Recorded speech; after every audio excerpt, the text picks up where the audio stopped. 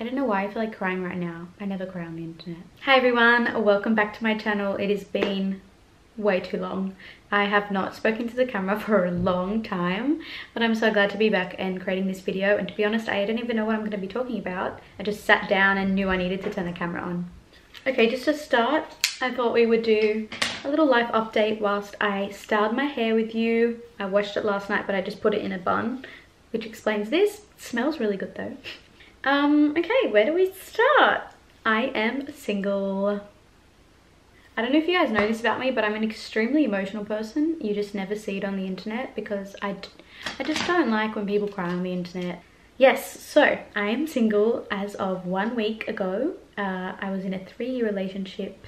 You know, YouTube for me is a place where I can be kind of the most vulnerable out of all my platforms and I have such amazing followers. I love you all and you're always here for me even when I take big hiatuses and then come back. Hopefully I'm back for good now but it is really hard to juggle three platforms slash getting back into performing. It's just not, I just really like having privacy in my life and respect for the other person and the other person's family is very important to me. So don't expect to be getting like tea or anything. I just wanted to update you on the situation and I can share a little bit about how I'm feeling. For me, I, I, I am someone who's like all in with relationships and friendships. And that's why I have a really small circle around me but like I am an all-in girly. I have a small circle and when I love you I'm gonna like I'm gonna give you everything. But sometimes it's to the point of my own detriment and I can forget about my own self and doing things that I love you know? And I really felt myself doing that especially in the last year. I almost quit performing which is the most insane thought to me in the world because I literally for my entire life all I ever wanted to do was perform.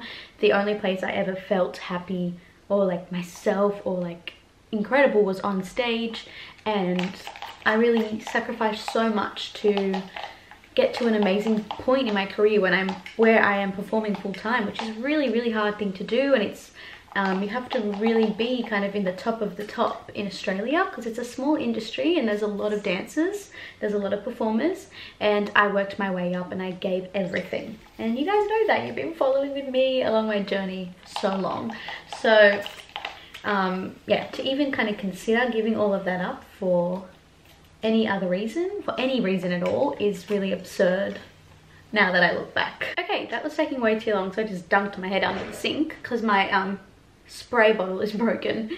I stepped back and I had immense support from my family and we're all very deep thinkers. For me to really break through those thoughts and fears and a lot of insecurities and be able to pull myself away from something that wasn't serving me was really hard. But as I said, immense support from my family and immense trust, even when it's hard, in God's plan for me. And to really surrender yourself into God's hands is really hard to do and I don't think I've mastered it at all but it's something I'm striving towards and this was a really good step for me.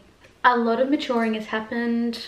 I got in the relationship when I was 20 and I'm now 23 um, and that's a lot of life like that's a lot of change and like really um, important years of growth and learning and literally your frontal lobe is oh my mom's calling me. Hey. Hey mama. Hello? Hello? Mom yeah there was just a lot of really like important growth for me in that time of in this time of my life in almost three years with someone. Um, and and no matter how hard you try to hold on, sometimes it's okay to realize when God is calling you down a different path, even though it's really, really hard. So yeah, in saying all this, I've definitely entered a new era. I'm single in my 20s, 23, and I think it's a grace that God has given me this time to be single and to develop myself into the woman that he wants me to be, that he intends for me to be. God truly values every single human life. So I feel like right now I'm, I'm really given the chance to pursue and chase the things that make me happy and you know bring myself back to those things those things that Jayme loved growing up and Jayme dreamt of and um, I'm just really excited to do that. So I have been working really hard to push back into the performing world. I'm lucky I didn't take too far of a step away for too long. So I still have amazing connections and amazing support team in the performing world to help me do that. And I have like three auditions coming up for musicals next year. Fingers crossed for at least one of them. I feel like my hair is not wet enough right now, but that's fine. OG. My hair has been in a slick back bun for almost two weeks, so I don't know how it's gonna look today. I have not had the mental capacity to style and bother with my hair. Add a little bit of gel in just for extra good luck. Okay. So I'm just gonna chat whilst I do like, I guess, a little bit of an air dry situation for the curls. I will say though, in my time away from YouTube, my curl texture has gotten a lot better. I've been using the right type of products in the shower, a lot of bond repairing, um, the right type of protein, and not over moisturizing my hair, which my hair really does not like. Doesn't need to be over moisturized because it's overly healthy. So yeah, for me right now, I have a really big focus on spending quality time with my family, working hard towards pushing back into the performing world, doing dance gigs, singing gigs. I've been singing a lot of wedding Maronite ceremonies, which has been so beautiful. Um, running the choir at my parish, my local parish. Yeah, just getting back out there and doing those things that I love to do. I have been swamped though, I will say when it rains in Port, it's like going through a breakup, having multiple auditions, multiple jobs due, multiple events. It's absolutely hectic right now. I'm also going away Actually, I don't think I can say that yet, but that's fine. You'll find out soon what that's all about. And yeah, this is a new era, guys. This is um, a new time for me. I'm 23. I started YouTube when I was 18.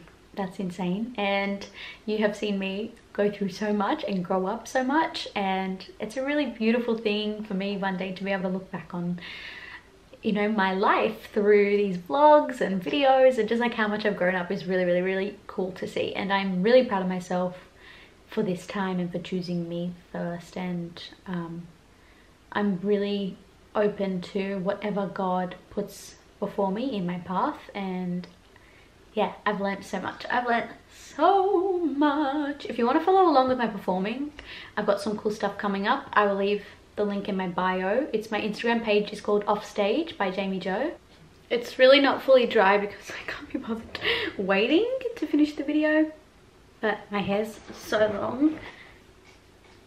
I want to keep growing it. I want it to be very long. I mean, I really rushed the drying process, so it's a little bit frizzy, but still looking good. I love you all. Thank you for watching, and I can't wait to chat in the comments. Please talk to me. You're all amazing, and your constant support has always meant everything to me. So I will do my very best to be more consistent with videos, even if it's just vlogs, mini updates, whatever it is